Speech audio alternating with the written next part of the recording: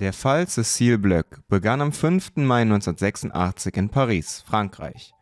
An diesem Tag wurde die elfjährige Cécile Bloch leblos aufgefunden, nachdem sie ihr Zuhause verlassen hatte, um zur Schule zu gehen. Die Polizisten des 36. Pariser Polizeipräsidiums leiteten noch am selben Tag eine Untersuchung ein. Die Umstände der Tat wurden ermittelt und ein Phantombild des mutmaßlichen Täters wurde veröffentlicht im weiteren Verlauf der Ermittlungen stellte sich dann heraus, dass der Täter in weitere schlimme Taten verwickelt war, sodass er eine blutige Spur hinter sich ließ. Psychokriminologen, Privatdetektive und genetische Identifizierungstechniken sollten bei diesem Fall zum Einsatz kommen und ihn damit zu einem der spannendsten Fälle in ganz Frankreich machen. Mehr als 35 Jahre lang blieb der Täter unauffindbar. In den Medien nannte man ihn nur der Pockennarbige. Erst 2021 konnte das Rätsel dieses Falles gelöst werden. Damit herzlich willkommen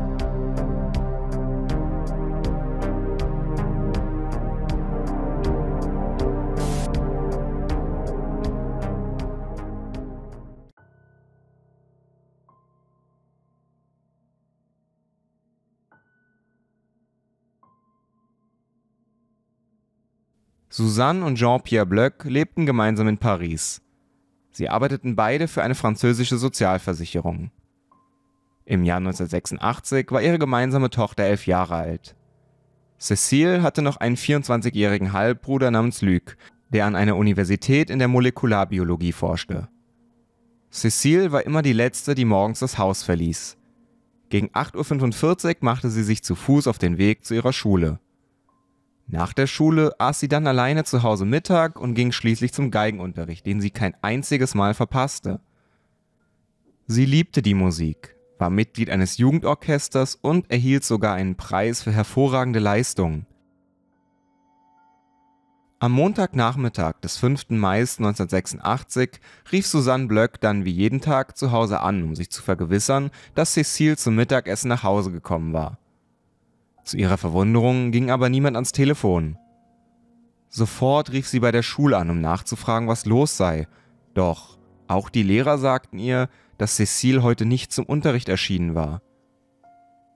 Der Vater von Cecile wurde darüber informiert und er fuhr sofort nach Hause. Die Wohnung der Familie war leer und die Schultasche von Cecile fehlte. Er beschloss, den Weg zur Schule abzugehen.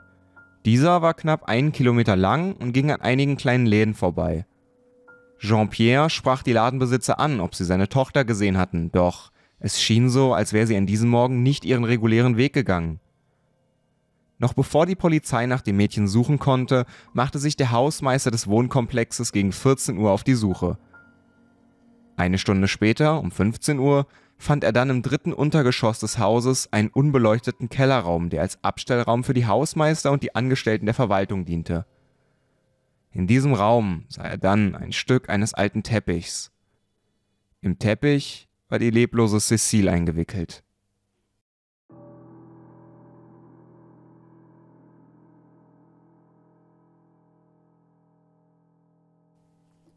Eine Untersuchung des Tatorts ergab dann, dass jemand mit einem scharfen Gegenstand der Elfjährigen das Leben genommen hatte. Es wurden außerdem Rückstände von Samen am Tatort gefunden. Die Tatwaffe selbst konnte nicht gefunden werden. Die Ermittler zögerten, die Wohnung der Eltern zu durchsuchen, da diese durch den Fund am Boden zerstört waren.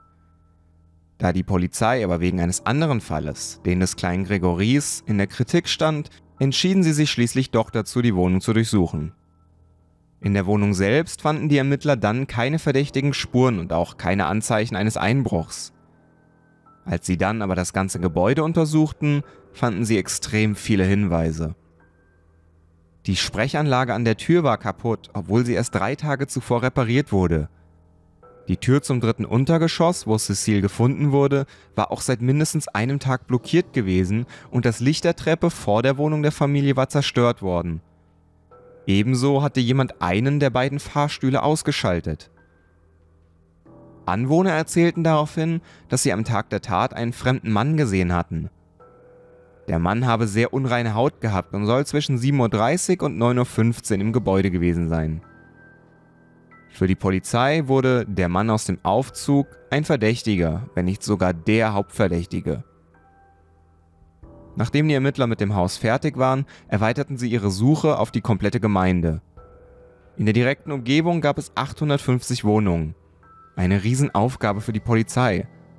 Sie befragten Anwohner und Ladenbesitzer und durchsuchten sogar Fahrzeuge nach der Tatwaffe.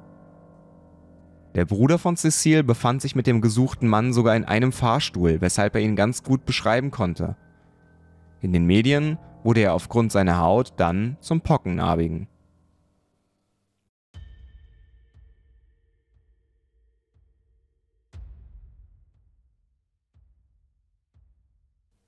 Die Autopsie von Cecile bestätigte nun dann das, was man am Tatort schon feststellte, aber durch die Spuren konnten auch Fingerabdrücke und DNA des Täters aufgenommen werden. Die Ermittler gingen davon aus, dass es nur ein einziger Täter war und dies nicht seine erste Tat war. Deshalb wurde auch eine eigene Division gegründet, die sich damit beschäftigte, alte Fälle zu betrachten und diese mit dem neuen Täter zu vergleichen. Sofort stach ihn eine Kriminalserie ins Auge, denn bei dieser Reihe von Verbrechen beschrieben die Zeugen einen Täter mit ungleichmäßiger Haut, genau wie beim Pockennarbigen. Besonders ein Fall vom 7. April 1986 wies extreme Ähnlichkeit zum Fall Cecile auf. Auch hier wurde ein achtjähriges Mädchen in einem Fahrstuhl von einem Mann entführt, der sich dann an ihr vergriff und sie dann im Keller zurückließ. Das Mädchen überlebte zum Glück und gab den Polizisten dann eine Beschreibung des Täters. Die Polizisten waren sich sicher, dass der Pockennarbige auch hinter dieser Tat steckte. Wochen und Monate gingen ins Land. Ende Mai zog die Familie von Cecile dann aus der Gemeinde weg. Spuren gab es wenige und auch durch Fahndungsfotos kamen keine neuen Hinweise ein. Doch dann meldete sich plötzlich ein Vermieter, der sagte, dass einer seiner Mieter der Täter sei. Er hätte ihn von den Fahndungsfotos erkannt. Der Mann war bereits ein bekannter Straftäter, der zuvor für ähnliche Taten im Gefängnis saß. Die Polizei fuhr direkt zu ihm und nahm ihn mit auf die Wache. Dort gestand er die Tat. Jedoch ergab ein Bluttest, dass er eine andere Blutgruppe hatte als der tatsächliche Täter, weshalb er wieder freigelassen wurde. Die Polizisten verloren langsam die Geduld. Der Täter könnte jeden Moment wieder zuschlagen und sie waren ihm immer noch kein Stück näher gekommen. Es verging über ein Jahr. Am 27. Oktober 1987 wurde dann ein 14-jähriges Mädchen von einem Mann in einem Fahrstuhl angesprochen. Er sagte ihr, dass er Polizist sei und er ihre Personalien aufnehmen wolle. Dafür müssen sie in ihre Wohnung gehen. In der Wohnung angekommen, richtete der Mann dann eine Pistole auf das Mädchen und vergriff sich an ihr. Als er fertig war, floh er dann. Auch wenn diese Tat nicht dem Modus operandi des Pockennarbigen entsprach, legte die Polizei ihr ein Fahndungsfoto von ihm vor. Das Mädchen bestätigte, dass es dieser Mann gewesen sei, er jedoch keine Pocken mehr hatte. Bis zum Ende des Jahres 1987 wurden dem Pockennarbigen aufgrund seiner Beschreibung und seiner Vorgehensweise zwölf Verbrechen zugeschrieben. Nur zwei seiner Opfer waren Erwachsene. Im Januar 1989, als die Ermittlungen zu einem Stillstand kamen, verlor die Mutter von Cecile bei einem Autounfall das Leben. Vier Jahre später wurden die Ermittlungen offiziell eingestellt. Für die Pariser Kriminalpolizei blieb die Akte jedoch immer offen.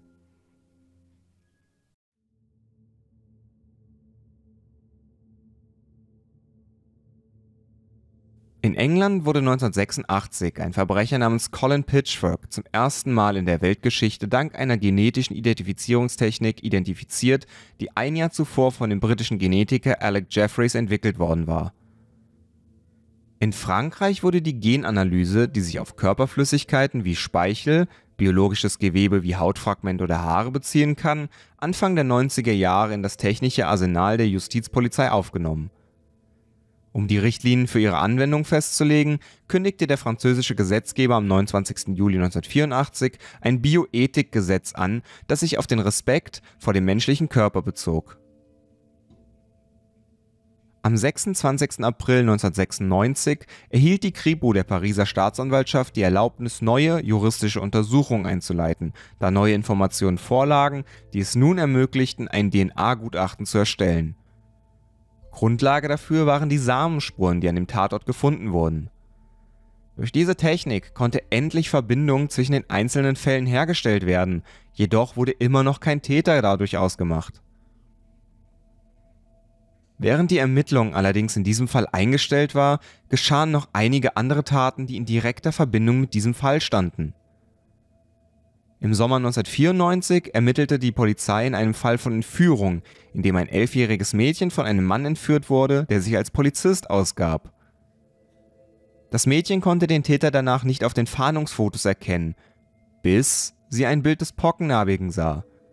Sie sagte der Polizei, dass dies der Mann war.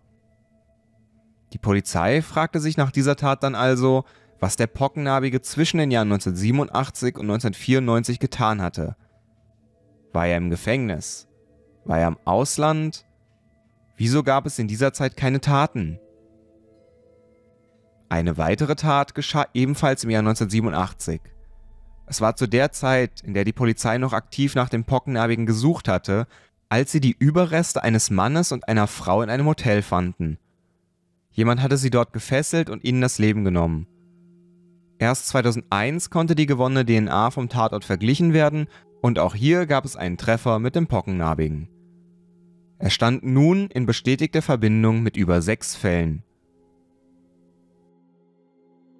In Frankreich betrieb man erst seit dem Jahr 1998 Profiling von Kriminellen. Deshalb wurden im selben Jahr der Psychologe Pierre Leclerc der erste offizielle Kriminalanalytiker der Polizei in Paris. Für den Fall Cécile wurden einige Psychologen dazugezogen, jedoch ohne Erfolg, weshalb die Ermittler das Vertrauen in sie verloren hatten. Erst als 2002 Privatpsychologen dazukamen, konnte ein detailliertes psychokriminologisches Profil des Pockennarbigen erstellt werden. Der Vater von Cécile gab die Hoffnung nie auf, den Täter zu finden. Er legte sich mit der Polizei an, um Einsicht in die Akten zu bekommen, und es schien so, als würde die Polizei ihm nicht helfen wollen, da sie ihm nicht einmal Bescheid gaben, dass der Fall wieder geöffnet wurde und sie neue Untersuchungen anstellten. Daher heuerte er einen Privatermittler an, der ihm dabei helfen sollte. Dieser schien zuerst auch sehr kompetent und sie fanden einige Verbindungen zwischen Taten rund um Frankreich und dem Pockennarbigen.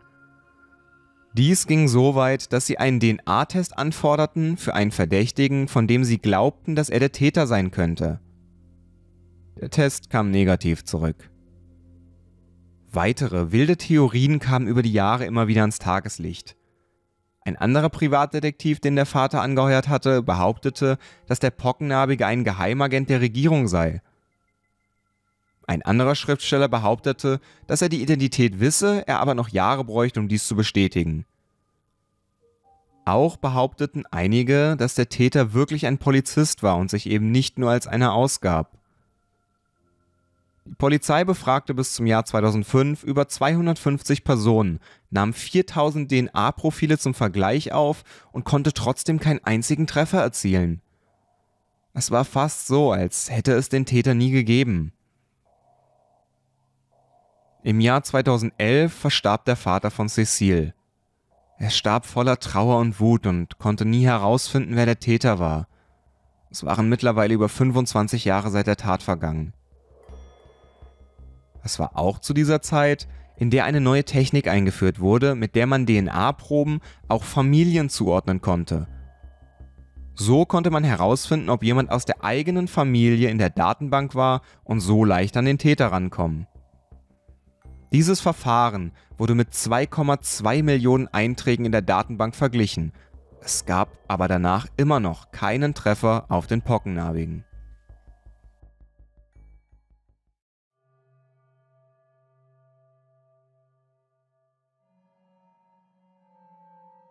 Im Jahr 2002 wurde eine neue Software eingeführt, die Fälle anhand von Fakten und Daten miteinander verbinden sollte und den Ermittlern so Denkanstöße geben könnte, wenn es um mehrere Taten ging, die vielleicht von ein und demselben Täter ausgeübt worden waren. Als Test, wie gut das System funktionierte, wurde ein Fall aus dem Juli 1994 in das System eingespielt. Bei diesem Fall ging es um eine 19-Jährige, die in einem Wald leblos aufgefunden worden war Wenige Tage zuvor war sie von einem Fremden entführt worden. Das System sagte den Ermittlern dann, dass es große Ähnlichkeiten zwischen diesem Fall und dem Fall des Pockennarbigen gab. Insbesondere die Würgemale am Hals seien identisch mit denen der anderen Taten, die ihm mittlerweile zugesprochen wurden. 2015 stellte das System dann eine weitere Verbindung zwischen dem Fall Cecile und einem Fall aus dem Jahr 1991 her. 1991 wurde eine Immobilienmaklerin namens Sophie leblos in ihrer Wohnung aufgefunden. Auch bei ihr wurden Samen gefunden, jedoch konnte dies nicht in die Datenbank aufgenommen werden, da die Polizei diese verlegt hatte. Dies war für die Polizisten dann eine Bestätigung, dass der Pockennarbige auch zwischen den Jahren 1987 und 1994 aktiv gewesen war. Ende 2017 umfasste die Gerichtsakte zum Fall Cecile nun neun Taten, die alle von demselben Mann ausgeübt worden waren. Bei sechs der Taten konnte eine eindeutige Verbindung durch DNA hergestellt werden. Die Tat an der Immobilienmaklerin wurde nicht offiziell dazugezählt, aber von den gleichen Polizisten behandelt, sodass man von insgesamt zehn Opfern ausgehen könnte. Im Laufe des Jahres 2021 beschloss die Pariser Kriminalpolizei, 750 ehemalige Polizisten zu befragen, die zum Zeitpunkt der Taten in der Region Paris tätig waren. Ziel der Ermittler war es, DNA von verdächtigen Polizisten zu nehmen, in der Hoffnung, dass der Täter sich unter ihnen befand. Am 29. September 2021 nahm sich ein 59-jähriger Mann namens François Véroff in seinem Haus das Leben. Er war ehemaliger Polizeibeamter. Er stand ebenfalls auf der Liste der 750 Polizisten, die befragt werden sollten. Wenige Tage bevor er befragt werden sollte, verschwand er plötzlich, was die Polizisten stutzig machte. In seiner Wohnung wurde dann ein Brief gefunden, in dem er gestand, dass er mehrere Verbrechen begangen hatte. Er gab darin zu, dass er der Mann mit dem pockennarbigen Gesicht war. Er wäre zu diesem Zeitpunkt schon über 35 Jahre lang auf der Flucht. Am 30. September 2021 konnte durch DNA-Proben bestätigt werden, dass François Véroff der pockennarbige Mann war. Ein Polizist, der seine Macht missbrauchte, um Kindern zu schaden, der jahrelang bei den Ermittlungen half, um Spuren zu verwischen. Das Verfahren gegen ihn wurde nach seinem Ableben eingestellt. Dadurch gilt er bis heute rechtlich als unschuldig. Die Identifizierung und die Geständnisse von François Véroff bedeuten jedoch nicht das Ende der Ermittlungen. Die Ermittler müssen immer noch den Weg des Täters zurückverfolgen, um zu versuchen, die genauen Umstände der Taten festzustellen und Verbindungen zu anderen bisher ungelösten Fällen zu finden. Denn wer weiß, wie viele Taten dieses in einer Uniform getarnte Monster noch begangen hat. Gute Nacht und bleibt gesund.